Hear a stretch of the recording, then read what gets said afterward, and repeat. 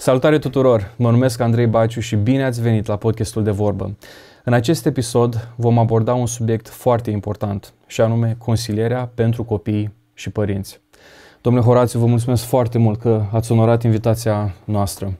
Mă bucur că am putut să fiu aici. Și mă bucur din nou că pot să vorbesc cu un psihoterapeut, pastor, predicator, soț, tată și toate descrieri. Și bunic. Și bunic mai nou, bunic tânăr și mult prea fericit. Da. Uh, este o tematică de importanță maximă. Dacă până acum am vorbit de consilieri premaritale, consilieri în uh, relația de familie, cuplu, cum ați definit dumneavoastră, vreau să punem o serie de întrebări și să ne uh, dați răspunsurile dumneavoastră. Care este cel mai important lucru pe care un părinte îl poate învăța pe copilul lui? Dacă este un copil și care, și vorbesc copil, vorbesc până în 12 ani, lucrul cel mai important care poate să-l pună un părinte în inima copilului este Domnul Isus. Copiii, până la o anumită vârstă, chiar depind de mama, de tata, de tot ce înseamnă familie, dar fiecare dintre noi, pe măsură ce crește și ne dezvoltăm, trebuie să învățăm să depindem de Dumnezeu. Și în momentul în care acel copil va pleca de acasă și își va forma o altă familie, fie că este fată, fie că este băiat, dar îl are pe Dumnezeu în inima lui, are toate șansele să aibă o familie fericită. Hmm. Foarte frumos ați spus.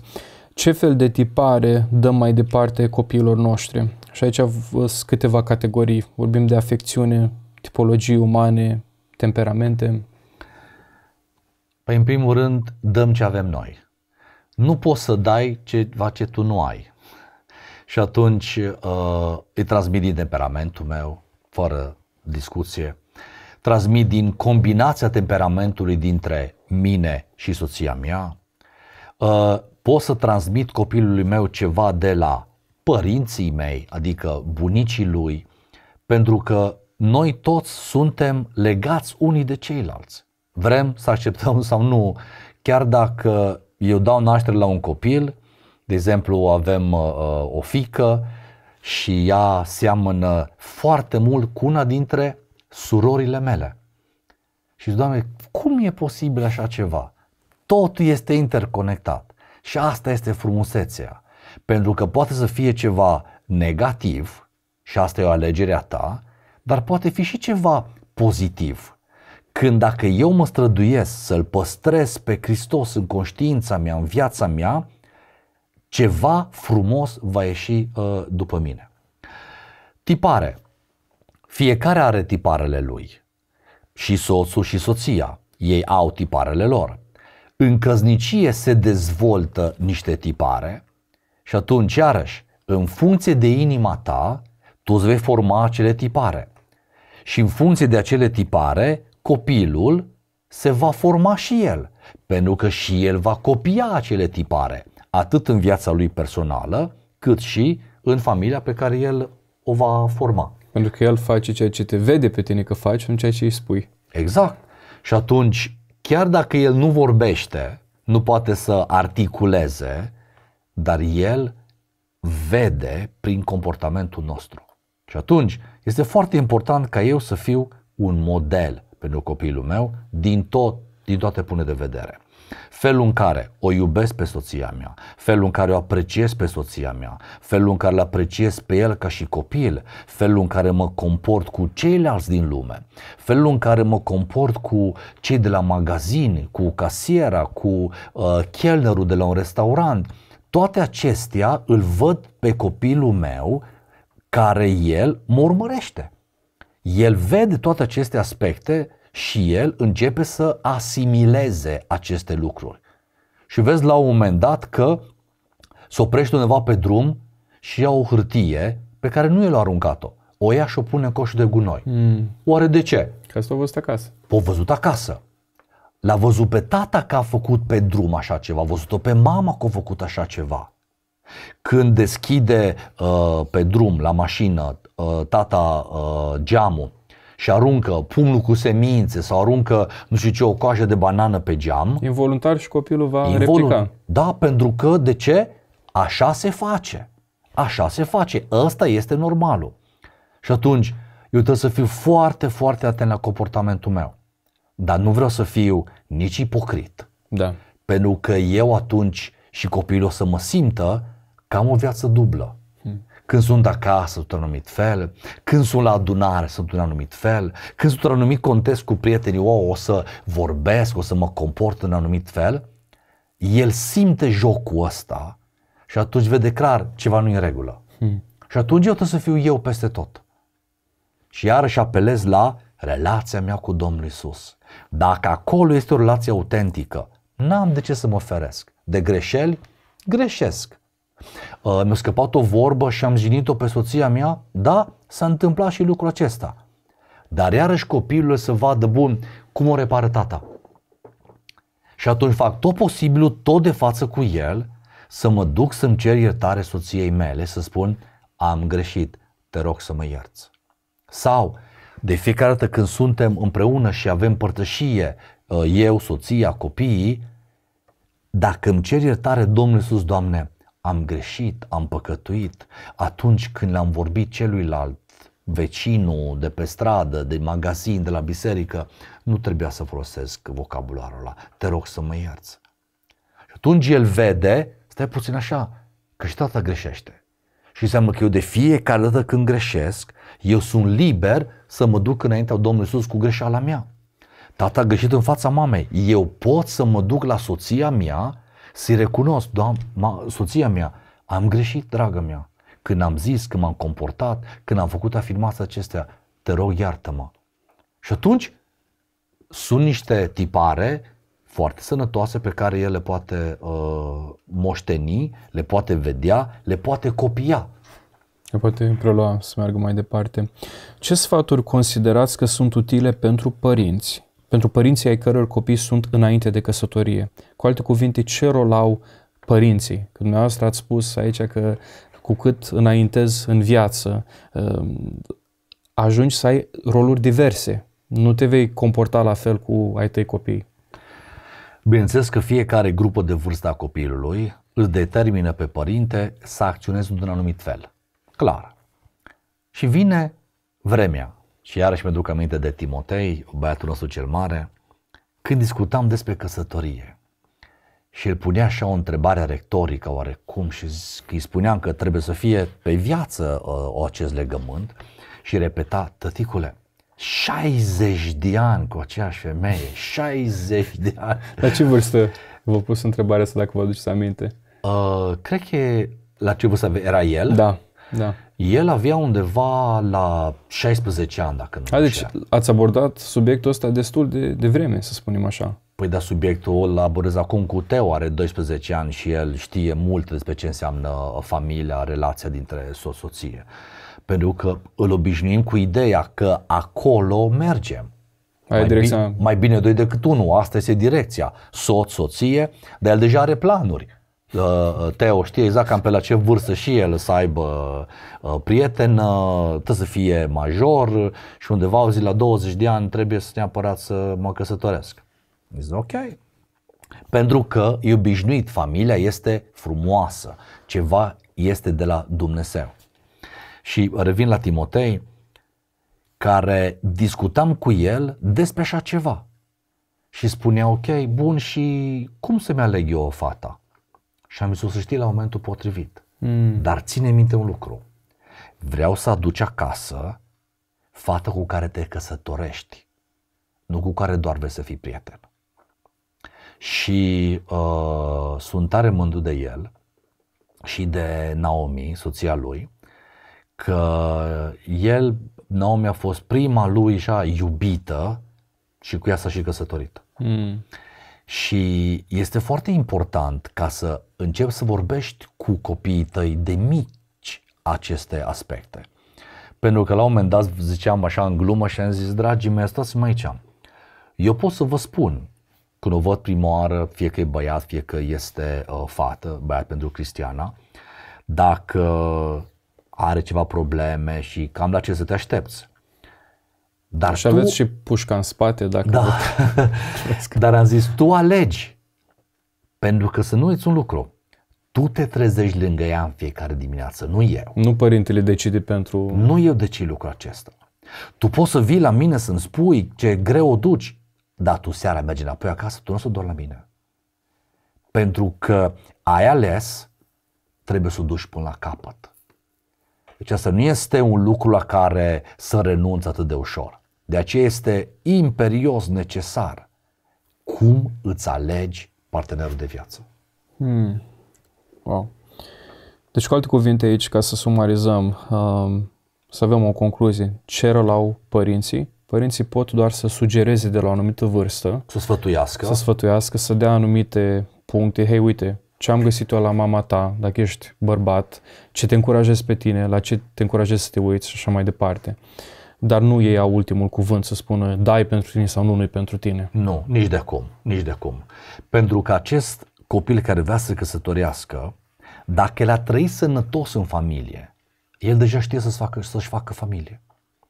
Pentru că a văzut felul în care tata iubește pe mama, a văzut felul în care mama e supusă lui, au văzut anumite discuții, au văzut anumite tensiuni, care mai spune așa în glumă, eu cu mama ta nu ne-am certat, niciodată nu ne-am certat. Și spun, nu, am avut doar părtășii intense. Pentru că există. De ce? Când aud pe oameni, noi nu ne-am certat. Ce înseamnă că aveți o problemă dacă nu v-ați certat. Da, da, da. Știi? Adică de ce nu? E pentru că trebuie să existe. Dar nu dezbați uh... acolo. Chiar aseară, asta am, am vrut să vă spun, chiar aseară povesteam cu uh, soția mea. Uh, unul la mână, nu cred cuplurile care spun că niciodată nu s-au da, certat. Da, da. Pentru că uh, chiar Apostolul Pavel spunea la un moment dat, băi, e bine ca între voi să fie partide. Da. E alt context acolo, da, dar da, ideea clar. e aceeași. Pentru că dacă noi este și imposibil ca două persoane să gândească diferit, să nu gândească diferit. Dar ce faci atunci când gândesc diferit? Cum, cum, cum e decizia finală? Între apostoli a fost un viu schimb de cuvinte. Ă, cam ce o să spun aia acolo așa. E clar că s-a ridicat tonul acolo, ceva, a fost ceva acolo așa. Dar contează întotdeauna cum termini. Care e deznodământul în urma? Cum termini? Dacă termin îmbufnat, dacă termin tu într-o cameră, el pe canapea dincolo, supărați două săptămâni, ă, mânie, ură, răzbunare, înseamnă că aveți o mare problemă. Da? Da, da. Dar dacă la final se termină, iartă-mă că am greșit că nu trebuia să spun afirmația asta, iartă-mă că nu m-am concentrat pe subiect și, te- și te-am jignit și te-am lovit pe tine, ai o familie sănătoasă. Ai o familie sănătoasă. Pentru că Isus mă iubește și după ce am greșit și după ce am păcătuit. Dar diferența este că el nu se certă cu mine, numai eu mă cer cu el. Hmm. Dar când mă întorc la el și recunosc, dragostea lui e tot acolo. Cred că unul, unul dintre lucrurile uh, cele mai frumoase pe care le-am experimentat în căsnicia noastră, a mea și a soției mele, a fost de fiecare dată când ne-am certat, de față cu copiii, uh, când a greșit, au venit la mine și au spus, Andrei, te rog frumos să mergi. Am dat-o de pereți. Eu o iert, o îmbrățișez, ne sărutăm, ca să vadă copiii că e dragoste acolo, tati o iubește pe mame, deci noi. Dar nu rezolvăm lucrurile astea în, în cameră să nu știe copiii. Ne-am certat de față cu ei, gata, ne-am dus acolo și deodată copiii își pun întrebări cum. Da. De fiecare dată când am greșit, eu m-am dus la Anca și am zis, draga mea, te rog frumos să mergi. Și am înțeles principiul ăsta al șlefuirii. Când Dumnezeu te pune să șlefuiești pe cealaltă persoană, te pune ca să ajungi mai puternic. Da. Învățați lucruri unii despre alții. Ideal ar fi să nu ne certăm în fața copiilor. Este lucruri pe care am încercat să-l păstrăm de-a lungul anilor foarte, foarte mult. Este ideal să nu se întâmple așa ceva. Și da? noi ne-am propus, dar da. life happens. Da, se mai întâmplă, da. Dar tot așa, e foarte bine că și trebuie să vadă și uh, partea cealaltă a unei, uh, știu eu, răzbunări, unei, un, uh, unui conflict. Da, și când spun aici la ceartă, să fiu foarte clar, nu mă refer la scaune aruncate prin casă, nu mă refer la, nu, la urlet. Deci nu, nu mă refer la din astea. Dar anumite tensiuni care apar câteodată. Băi, de ce ai spus așa? N-am zis că facem așa. Și escaladează, noi amândoi suntem temperamente foarte puternici și pe aia ne dăm seama, stai o secundă, hai să coborăm pe pământ, să vedem. Și copiii văd lucrul ăsta. Dar tot timpul asociază cu iertarea. Și știți ce mi se pare foarte interesant? Că vine băiețelul nostru la noi, el are acum trei ani, și spune, Tati, forgive me. Tati, I'm sorry. Tati, iartă-mă. Și fetița mea care abia învață acum, la fel, și ea când greșește, știi cum și cere iertare. Și am zis, măi, ăsta este un model uh, da, super. cel mai sănătos. Ce rol au părinții ai căror copii sunt căsătoriți? Proaspăt căsătoriți, cu copii, uh, copii care ajung la vârsta a, a doua. Și ăsta este un subiect foarte tabu care de multe ori se dă la o parte și de asta v-am chemat pe dumneavoastră că știți că le spuneți lucrurile cum sunt. Deci, încă o dată, ce rol au părinții ai căror copii sunt căsătoriți și ajungem la diferite stadii. Copii care sunt proaspăt căsătoriți, da? deci au părăsit casa sau copii care ajung să aibă copii și copii care ajung la vârsta a doua și părinților dacă mai sunt în viață. Da. Um, și după ce au plecat copiii de acasă, rolul părinților nu s-a oprit acolo. Nu s-a oprit acolo. Doar este foarte important granițele. Atât a părinților, cât și a familiei nou formată. Foarte importantă, pentru că se poate întâmpla și invers. Ca familia nou formată să cace granița părinților sau a socrilor. Da? Și atunci este foarte important ca să delimitezi granițele. Și atunci, dacă s-au căsătorit, spunem așa, noi vă stăm la dispoziție cu ce putem să vă ajutăm. Vreți un sfat? Suntem aici. Dar eu nu o să vin să vă sfătuiesc de la mine idee și putere. Când aveți nevoie, sunt aici. Ne rugăm pentru voi. Când vă putem ajuta cu ceva, vă stăm la dispoziție. Felul ăla de verificare, cum sunteți, aveți, nu aveți, uh, de ce v-ați dus acolo, de ce nu ați venit la biserica asta, de ce, de ce, de ce, multe lucruri, nu fac altceva decât să pună presiune peste noua familie. Nu, băiatul tău, în cazul ăsta, dacă a plecat de la tine de acasă, el și-a format o altă entitate, o altă familie, în care el acum a devenit cap de familie, Hristos a devenit capul lui și el este sub directa călăuzire și autoritatea lui Dumnezeu. Nu mai este a ta. A ieșit de sub autoritatea ta. A ieșit de sub autoritatea mea ca și tată. Și băiatul și fata. Eu nu mai am autoritatea aceea pe care am avut-o înainte. Și asta frumos am delimitat lucrurile. Bun, vin copiii. Și ne rugăm să vină, că e o poruncă de la Domnul Isus asta, da? Care este rolul meu? Ca bunic. Și din păcate mulți bunici vor acum să recupereze cu nepoții ceea ce n-au realizat cu copiilor. Ce n-au făcut copiilor? Și întrebam pe unii bunici. Și zis, cum se simte copilul tău când tu faci asta cu nepotul? Ce crezi că se creează în inima copilului tău când tu și verbalizezi că Bă, vreau să fii tu ce n-am putut să fac cu tatăl tău. Da, asta e lipsă de înțelepciune crasă. Dar din păcate se întâmplă Se întâmplă, am văzut, ori, am văzut din cu păcate, mei. da? Și atunci, rolul meu ca bunic este să susțin familia. Cum?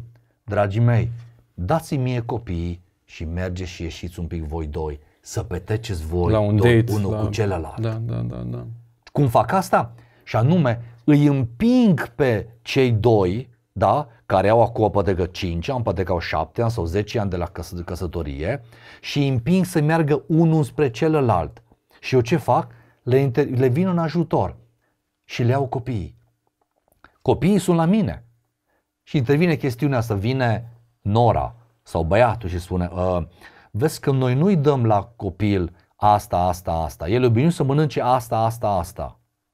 Și întrebarea este, respecti ce zice Nora sau zis, a, nu știu nimic, las că, las că îți dau eu ce știu eu. Da, nu, nu se procedează așa. Și atunci, și am zis așa puțin, ce transmit eu nepotului meu când eu ignor tot ce mi-au zis uh, uh, copiii, copiii noștri? Foarte scurt, uh, aici și vă las să spuneți, dar cred că le sfidez în primul și în primul rând autoritatea spirituală. Clar, sigur. Când tu ca bunic te bagi în unde nu-ți, n-ai, n-ai permisiune nici măcar de la N-am Dumnezeu, autoritate. uh, după asta creezi foarte multă frustrare acolo. Tu ai avut pe, i-ai avut pe ai tăi copii pentru o perioadă determinată de Dumnezeu. Ți-ai făcut treaba sau nu ți-ai făcut-o. E treaba ta, dar tu nu poți să răscumperi acum. Aia nu mai sunt copiii tăi, aia sunt Sigur. nepoți. Și aici am vrut să aduc un exemplu și vă las să continuați. Că vorbeam despre boundary, despre granițe sănătoase. Cuplu se căsătorește, totul frumos, tot asta, și a făcut prostia să stea casă lângă casă. Nu intru în detalii. Cu nu, părinți. Da, da. Nu, nu vreau să judec și să-i pun pe toți în aceeași oală pentru că sunt uh, lucruri cazuri cazuri. Și cazuri. Sunt cazuri și cazuri. Am văzut și familii care au stat așa pentru că n-au putut, înțeleg. Dar prostia pe care o făcut-o tatăl, s-o băgat, trecea gardul, bătea la ușă și ăștia erau în pat, dormeau. Ce faceți la ora asta, la ora 10 în pat? Că eu la ora asta, la 7 eram treaz dimineață. Long story short, povestea pe scurt, ăștia au ajuns să divorțeze. Da. După asta, al doilea exemplu, frustrări cauzate de bunici care să bagă în viața de creștere a copilului. Uh, Maică, mama îl trage pe, pe băiatul și spune nu băga în seamă pe soția ta, las că-ți spun eu cum am făcut pe vremea mea. Ei, lucruri din astea nu aduc nimic altceva decât foarte multă amărăciune, minciună între, între soț și o să vreau să ne oferiți și dumneavoastră exemple că v-ați întâlnit cu mai multe. Astea sunt câteva de care eu da. știu clar că s-au întâmplat. E adevărat, toate lucrurile sunt adevărate. De aceea zi, e foarte important să-ți cunoști granițele familiei tale. Atât a părinților, a socrilor, a bunicilor acum, cât și a familiei nou formate. Și atunci a venit cu nepotul la mine, eu trebuie să o respect pe mama și pe tata. Ce îi spun eu copilului? Eu nu am voie să-i spun copilului, nepotului meu, nimic care să contravină cu învățăturile pe care le-a primit de acasă. Chiar dacă nu mi se par ok unele. Corect? Chiar dacă contravin și cu principiile mele. Eu dacă vreau să schimb ceva, eu trebuie să vorbesc cu părinții lui, nu cu el. Pentru că atunci în inima acelui copil voi crea un conflict. Și atunci el începe să își pună îndoieli cu privire la învățătura mamei, a tatălui, pe cine să creadă, pe bunici sau pe mama sau pe tata. Și atunci ce am făcut cu asta? Am dezbinat, nu am cădit absolut nimic. Și și aduci duh de ceartă în familia oh, respectivă. Da, deci o chestie da. foarte gravă și da, mă bucur că da. ați, ați adus-o. Și da. odată ce aduci ceartă, de desparți acolo pe soț și pe, mă refer la nivel spiritual. Deci da, acum da, nu vorbesc de, despre divorț. Sigur. Soț, soție și după aia te uiți în inima copilului și spui, bă da, uh, bunicul îmi dă bomboane, bunica îmi dă bomboane, băriții nu mă lasă. De asta îmi place mai mult de bunicul și bunica. Exact. Nu faci lucrul ăsta. Dar din păcate, mulți bunici așa își cumpără nepoții. Doamne, ce... e, e pervers modul ăsta, deci. Așa își cumpără Așa, că de a, la bunici totul e permis. E greșit că la bunici totul e permis. E greșit concep, uh, concepția asta așa. La bunici totul e permis la ce îmi zis părinții. Pentru că dacă las să facă lucruri la mine, pe care nici de cum mama și tata mi-au zis clar, nu vrem ca să le facă acest copil al nostru, și eu zic, las că pleacă ei, rămâi cu Tu atunci sfidezi și dărâmi și distrugi. Și atunci cum îl arăt pe Hristos? Pentru că eu acum ca și părinte, bun, poate că n-am avut timp să investesc în băiatul meu, pentru că eram tot la servicii, la lucruri și n-am avut timp. Dar acum pot să îl sădesc pe Hristos în inima acestui nepot al meu. Și atunci scopul meu ca bunic care este, dacă n-am putut și am ratat partea asta cu, cu copiii mei, ca educație, n-am ce să mai fac, da? Dar pot să-L prezint pe Hristos acestui nepot. Hmm. Și știu foarte mulți nepoți acum, sunt uh, nietate care se gândesc la bunici. Și zic, când mergeam la bunici, simțeam liniște, simțeam pace. Exact. Cum exact. să ruga pentru mine, cum îl prezenta pe Hristos, hmm. cum toate lucrurile era vorba despre Duhul Sfânt, despre, despre Domnul Isus. Și de acolo eu am început să cresc. Hmm. Și ce, ce interesant, ce imediat schimbare de peisaj. Ca la alți părinți care uh, le spuneau bunicilor, vedeți, nu are voie asta, și bunica, când pleca mama, era traia pe vătraia acolo. Închideau, Făceam tot ce vreau. Închideau ușa, gata, o pleca mama, să facem Gata. Noi. Deci, doamne... Și atunci, mie mi-a rămas o zis în minte că mama și tata nu au dreptate, bunicii au dreptate. M-am căsătorit Și eu trebuie să mă să întreb pe altcineva, n-am vorbit cu soția mea, că știam că n-are dreptate. Pentru că așa am crescut, ca și copil, ca și nepot. Și atunci ce am făcut eu? Ca bunic, dacă nu sunt sănătos și nu urmăresc să-L am pe Hristos în inima acelui copil, mai strigăm cu o familie. Și nu așa, mai stric chiar și familia nepotului. Atât de departe poate să meargă o învățătură greșită și o atitudine greșită. Și aș întări ceva aici, ce spuneți, ca să înțeleagă foarte clar. Nu dăm în nimeni, nici în părinți, nici în bunici. Dragostea copilului față de părinții lui de la care a plecat rămâne aceeași, chiar poate să crească. Dar respectul se schimbă. Adică părinții trebuie să-și respecte copilul odată ce a părăsit casa lui. Sigur. Autoritatea spirituală se schimbă. Cum, de exemplu, părinții mei nu mai sunt autoritate peste mine. Sigur. Eu sunt acum la rândul meu autoritate peste mine, peste casa mea. În casa mea, în familia mea, sunt anumite principii pe care Dumnezeu ni le-a dat nouă, Clar. călăuzirea noastră. Eu nu trebuie să dau socoteală față din, din nimeni. Bun, dar ce faci? Nu ne mai respectă, copiii au plecat de la noi. Da, ai avut pentru o perioadă. Eu nu spun să-l închizi ușa în nas părinților. Dar vezi, este diferență între Și aici am vrut cinste. să explicați. Da, da, aici am vrut să explicați. Că Biblia spune acolo să cinstești pe tatăl tău și pe mama ta. Da? Și nu spune până la o anumită vârstă. Nu, toată viața. Eu chiar și acum, da? Eu respect pe mama mea, are 84 de ani. A, că nu mai dau socoteală, că nu mai sus autoritatea ei. Că nu trebuie că, să asculți în toate. Că nu trebuie să mai ascult în toate sfaturi care, știu eu, au rămas poate că un pic mai în urmă, pentru că așa se făcea pe vremea ei. Dar eu respect și o iubesc, este mama mea. Da, corect. Și atunci atitudinea mea față de ea trebuie să fie una de cinste și de respect. Da? Și atunci nu înseamnă că dacă eu am niște principii diferite față de mama, nu mai respect. Dar din partea unor bunici, asta este o manipulare. Că dacă nu faci ce zic eu, înseamnă că nu mai respecti. Dar ce face, ce vreau să ridic mingea la filou? Ce face în momentul în care părinți, uh, bunicii îți gică contra? Le-ai explicat frumos, le-ai spus. Și astea sunt întrebările pe care le-am primit da, da, de la da. ascultătorii noștri. Uh, copiii se duc, își iau, își înghit totul, băi, hai să o facem, hai să vorbim cu părinții. Și le pregătesc acolo, li să le spun frumos, cu respect, cu cinste, cu dragoste, cu tot ce vreți. Și părinții zic că contra. Ce faci în situația respectivă? Bunicii. Te depărtezi de ei, tași din gură, te rogi nu, nu, nu. Mă îndepărtez. Deci, pe mine Dumnezeu mă cheamă ca noul tată, da, și mama, da, eu sunt responsabil.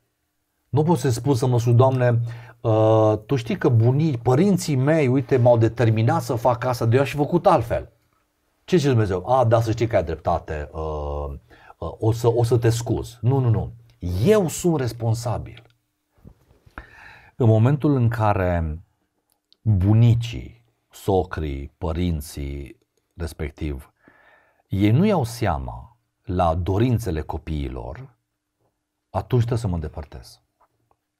Și atunci le spun și lor clar, nu am cum să vă mai duc copiii ca să aveți grijă de ei, nu avem cum ca noi să mai venim să petrecem timp împreună când voi nu ne respectați pe noi. Principiile noastre, care sunt astăzi, aici și sunt ale noastre. V-am ascultat pe voi, am încercat ca să, uh, să avem facem, relații bune. Să avem relații bune, dar dacă voi nu ne respectați și de fapt am văzut că îi întoarceți pe copii împotriva noastră, noi va trebui să ne, de, să ne îndepărtăm pentru o perioadă de timp. Și Dumnezeu în perioada asta va mai onora, va mai binecuvânta familia copiilor respectivi? Categoric. Aici am vrut să Categoric, pentru că eu nu o fac din răzvrătire.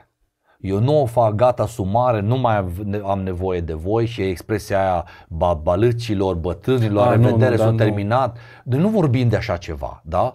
Pentru că eu am venit cu o atitudine acolo în care sunt îngrijorat de familia mea.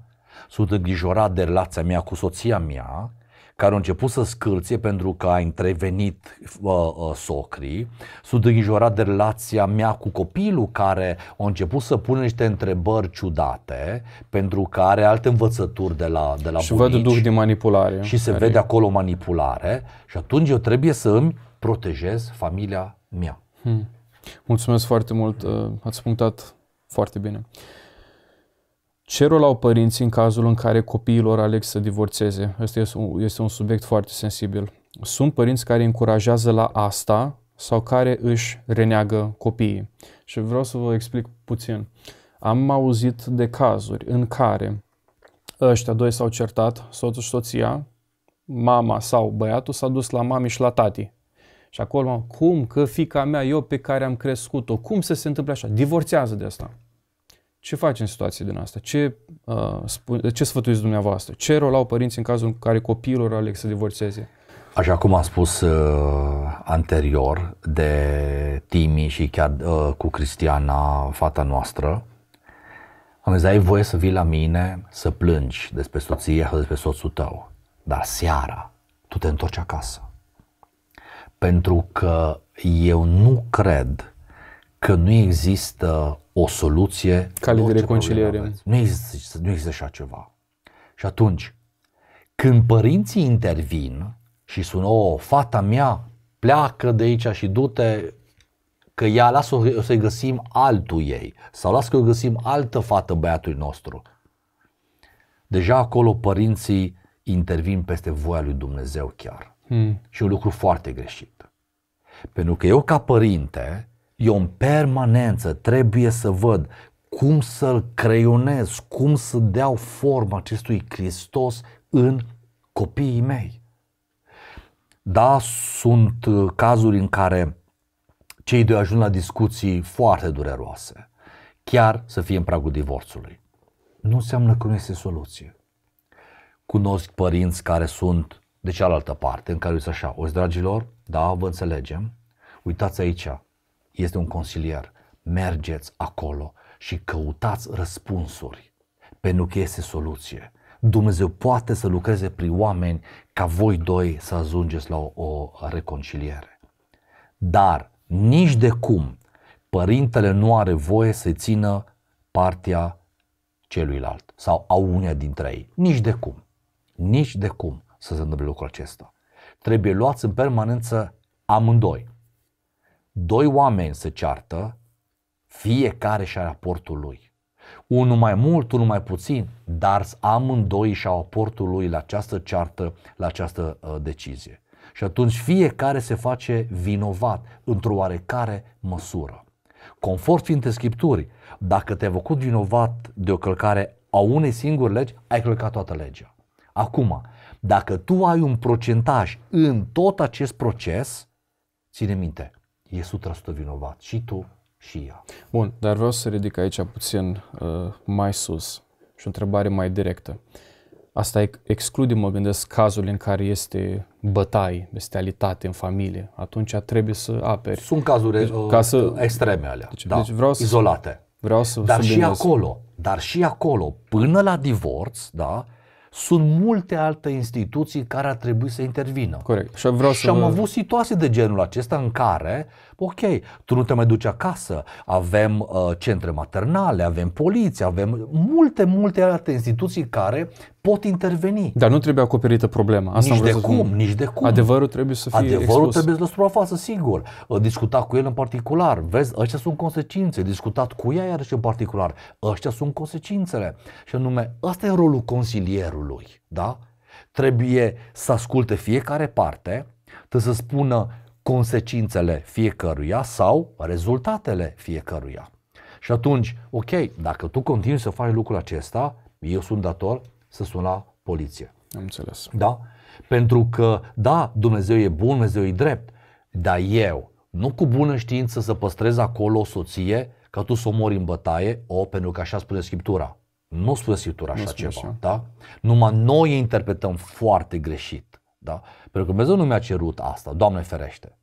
Și atunci avem în Sfânta Scriptură principii foarte clare cu privire la lucrul acesta. Dar am vrut să le spunem, să le scoatem pe, pe amândouă, ambele cazuri, ca oamenii să știe că nu în fiecare caz, bă, da, stați acolo, rezolvați voi. Sunt situații în care trebuie statul să intervină. Bineînțeles. Trebuie inter... Aceasta Bineînțeles. Să Bun. Bineînțeles. În uh, ultimele uh, 12 minute, cât timp poți îndrepta greșelile tale ca părinte față de copilul tău și strâns legat de asta, vine o, o ultimă întrebare, să spun așa. Există greșeală care nu poate fi reparată și care rupe relația definitiv și ce cred că uh, se referă între relația părinți-copii. Există momentul acela în care ai pierdut trenul. Deci se poate pierde trenul în relația Se cu... poate pierde trenul, bineînțeles, pentru că tu ca și părinte poți să te investești în copilul tău până la anumită vârstă. Cam care e uh, vârsta respectivă? Psihologii cred că spun până la 14 ani, dacă nu greșesc.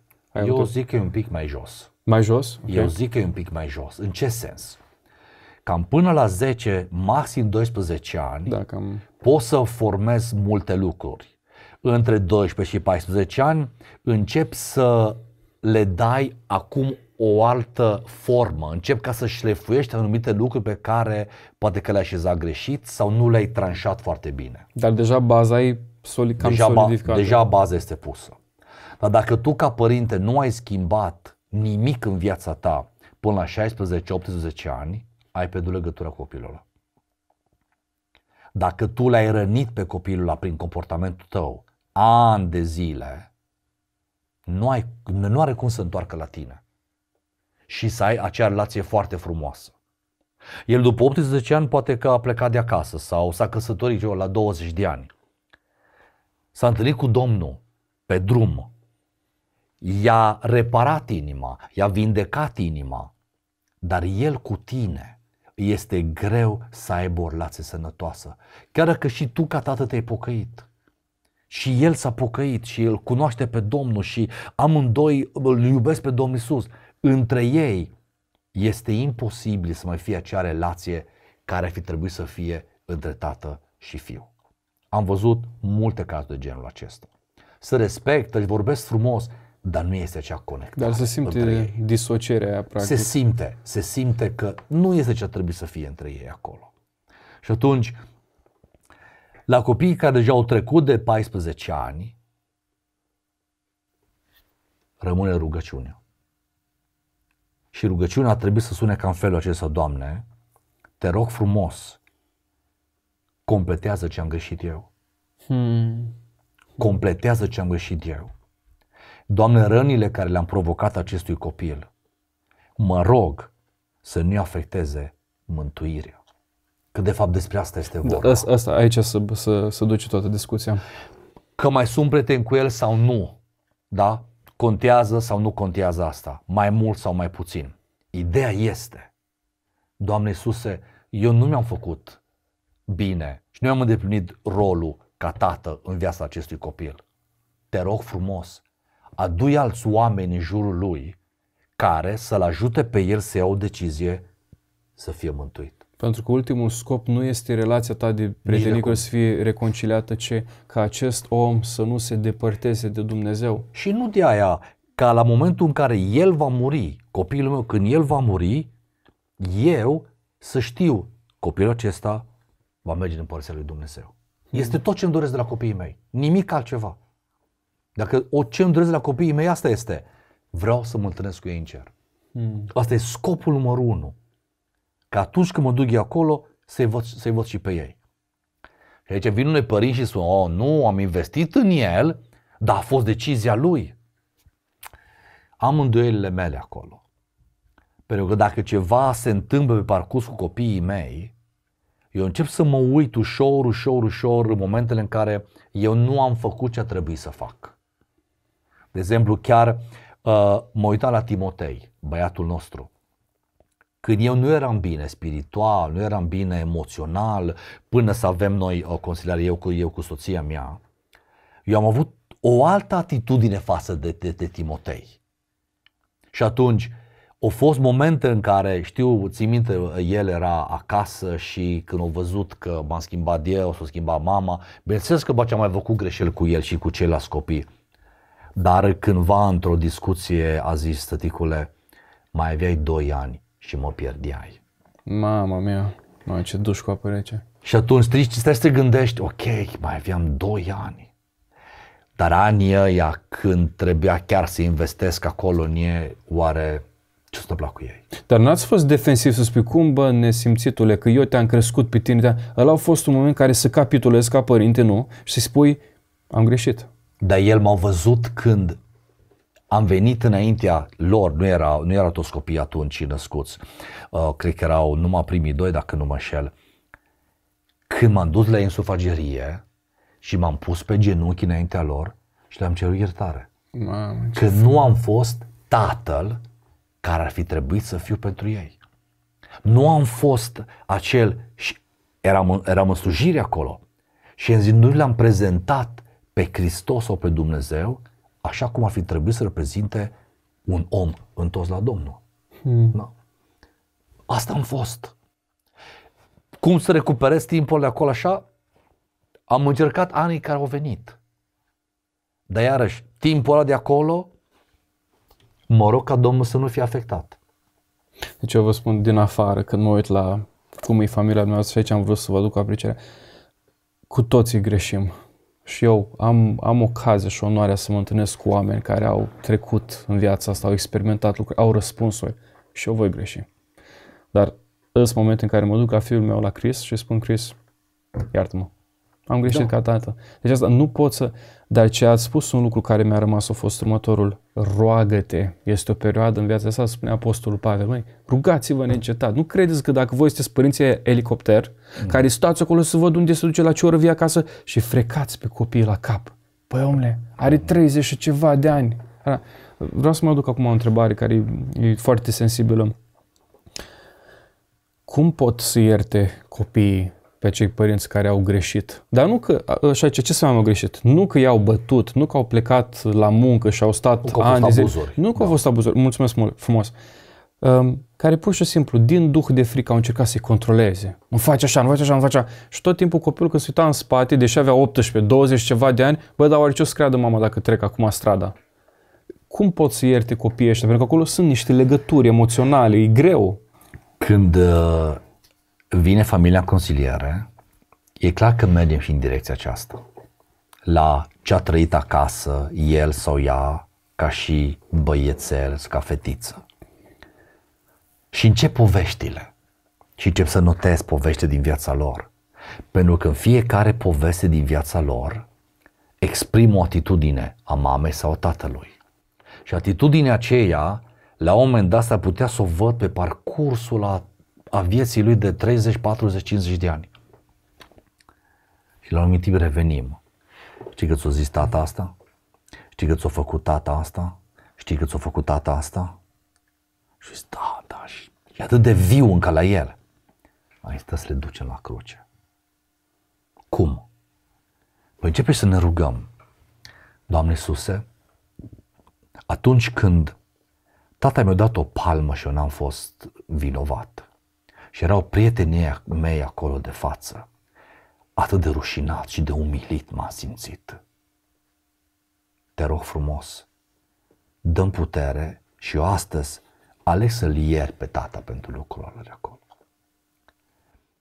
Nu ce se va întâmpla în relația lui cu tatăl, Și ce se va întâmpla în el? dar e important ce se va întâmpla Da, da, în da, el. da, da. Când acea rană pe care tăticul lui, atunci când era el mic, avea 6, 10 ani, 8 ani acolo, i-a provocat-o, să cicatrizează. Hmm. Și atunci devine visteria inimii lui tot mai bună. Tot mai bună. Și atunci el, nu știu, poate va avea o relație mai bună cu tatălui, nu știu, dar sunt convins că va avea o relație mai bună cu soția lui, cu copiii lui și cu cel din jur. Și cel mai important, între el și Domnul Isus. Și nu-i luă zinca aia, că de multe ori când aud de acum, deci uh, mă, mă enervez imediat. Timpul va vindeca toate rănile. Cea mai mare minciună. De ce e cea mai mare minciună? Cea mai în mare următoarele minciună. două minute. De Cea ce mai e mare minciună? minciună. Pentru că un lucru iarăși care spun cu familiile este acesta. Că unii spun, nu mai, e atât de multă durere acolo, nu mai pot duce acolo. Uh, Poate că în timp o să treacă, păi am zis, "Bă, dar nu a trecut în 15 ani. Uh, Poate că mai trec în și o să treacă și am zis, nu, nu, nu. Trebuie confruntată această rană și această Cum o durere. confrunți? Mergi înapoi. Mă duc cu ei. Același au 50 proces, la cruce. Același proces. Mă duc cu ei. Ăsta e evenimentul, ok. Ce face cu ei? Îl ducem la cruce. Pentru că am zis eu, ca și consilier, eu nu sunt destinația voastră finală. Eu sunt doar Un facilitator. un felicitator, dar mai mult decât atât, sunt doar un indicator către Hristos. Foarte, foarte Eu, fain a îți- zis. eu îți spun, bă, există problema asta aici. Tu ai văzut problema asta aici. A- Am identificat-o împreună. Am identificat-o împreună, tu ai confirmat că există, ce facem cu ea? Eu vin cu tine de mânuță și o ducem la Hristos. Dar decizia finală e a ta. Decizia nu a finală e a consilierului. ta, nu este a mea. De aceea trebuie să te întorci. De aia Biblia spune, întoarce-te, întoarce-te, întoarce-te. Pentru că nu poți să le uh, uh, vindeci în mers, nu poți lucrurile să le repari în mers, nu. Trebuie să te oprești, trebuie să te întorci, după aceea reiați călătoria cu Domnul. Și lucrurile astea necesită timp. Nu le poți face așa dintr-un uh, uh, snap of finger și după aia mergi mai departe. Când le spun oamenilor că uh, cum stai la consiliere, Păi am zis, stau între 25 și 30 de ore vorbesc cu oamenii. Păi zic, "Îi poftim? Ah. Ce vorbești 25 cu ea de ore? Și am zis, 25 de ore nici- cu unii nici măcar nu e suficient.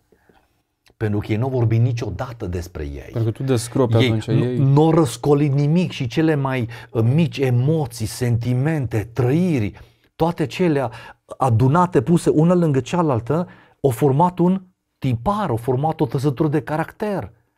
Și atunci eu aia trebuie să văd de unde are trăsătura asta de caracter. Care e rădăcina, care e sursa. Care, de, unde, de unde a venit asta așa? Și atunci absolut totul trebuie acolo să uh, discutăm în amănunțime. Domnule Horațiu, vă mulțumesc așa de mult Cu mare drag. pentru toate învățăturile pe care le-ați dat și um, cred că va fi încurajator și ziditor. Și a, a, asta vreau să fie o concluzie a tuturor podcasturilor pe care le-am făcut până acum.